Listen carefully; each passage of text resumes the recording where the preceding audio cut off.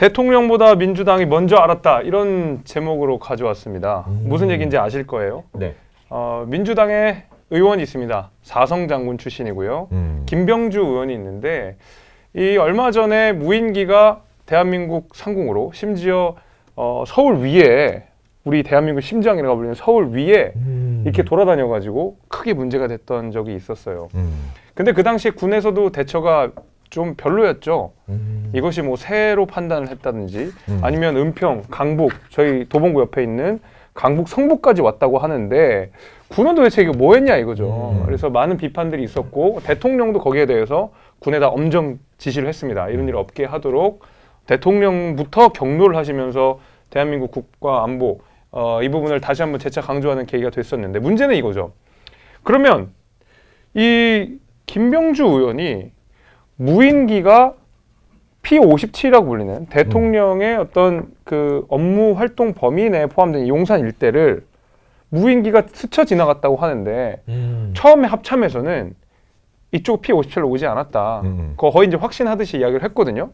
근데 김병주 의원이 먼저 제기를 했어요. 어떻게 P57을 무인기가 지나갔느냐? 어? 음. 갑자기 놀랬던 거죠. 음. 합참은 아니라고 했는데 오. 김병주 의원이 어디서 이 정보를 알고 왔는지 문제 제기를 했다라는 거거든요. 음. 음. 그래서 얘기가 나오는 거죠. 어, 이 정보 어디서 나왔어? 어, 우리 군에서도 지금 아니라고 하는데, 어, 왜 이거 김병주 의원이 알고 있지? 음. 여기에 대해서 이제 국민의힘이 문제 제기를 한 것이죠. 음.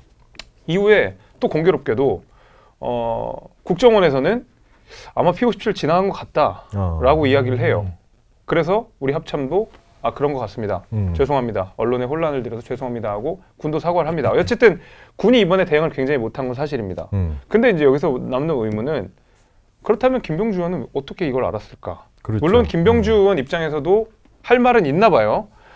본인이 이렇게 쭉 깔아놓고 이 사실은 무인기가 이 궤적을 이렇게 쭉 따라가거든요. 이게 음. 왜냐하면 지금 레이더로 탐지가 잘 안 돼요. 우리가 저번 시간에도 한번 다뤘겠지만은 3m 이하의 물체만 레이더가 탐지를 할 수 있기 때문에 2m 정도밖에 안 되는 무인기를 사실은 우리 기술이 가진 뭐 딴 나라도 마찬가지예요. 네. 우리 군이 가진 기술로는 탐지가 잘 안 되니까 대개는 육안으로 판단을 하게 되거든요. 음. 어쨌든 그래서 이제 못 본 게 있었는데 그 육안으로 판단하면서 이 궤적을 그려가지고 판단을 추적을 하게 되는데 그리고 얼로 갖다 추론을 하게 되는 건데 김병주 의원은 그냥 궤적 따라서 봤더니 그냥 P57 지나가더라라고 하는 거예요. 음. 근데 의심쩍죠. 그것만으로도 과연 가능할까? 음. 저는 그렇게 보진 않아요. 음. 그래서 국민의힘 이제 신원식 의원 같은 경우에는 그럼 북한에서 정보 받은 거냐라고. 이야기를 하는 거고 네. 아니면 김병주 의원한테 누군가가 군 정보를 유출한 거라 그러면 음. 당신 이거 누구한테 받은 거냐라고 음. 문제 지적을 하게 된 것이죠. 그렇죠. 예, 근데 저는 설마 음. 우리나라 사성 장군 출신의 국회의원이 음. 음. 북한한테 지령을 받아서 북한한테 정보를 받지는 않았겠죠. 거기까지 의심하고 싶지 않아요. 네. 솔직히 나는 거기까지 의심하고 싶지는 않은데 어. 적어도 저는 김병주 의원이 이야기한 대로 그 궤적만 가지고 판단했을 거라고 보진 않습니다. 그렇죠. 왜냐하면 군대 내에서 당연히 정부가 바뀌면 현 정부에 불만을 갖고 있는 사람이 생겨요. 왜냐하면 아무래도 관료화된 조직이다 보니까 음. 음. 정부가 바뀔 때마다 주요 인사들이 싹 바뀌어 나가잖아요. 음. 군대도 마찬가지고 국정원도 마찬가지고. 그러면 그 중에서 남아 있는 사람 중에 친민주당 성향인 사람이 분명히 있을 겁니다.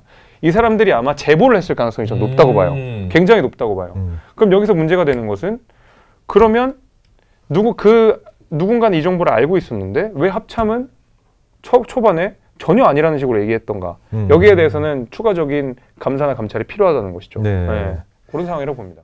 울프렘 하트님께서도 김씨 주특기가 포병이던데 궤적을 그렇게 잘한다고. 어. 아 글쎄요. 네.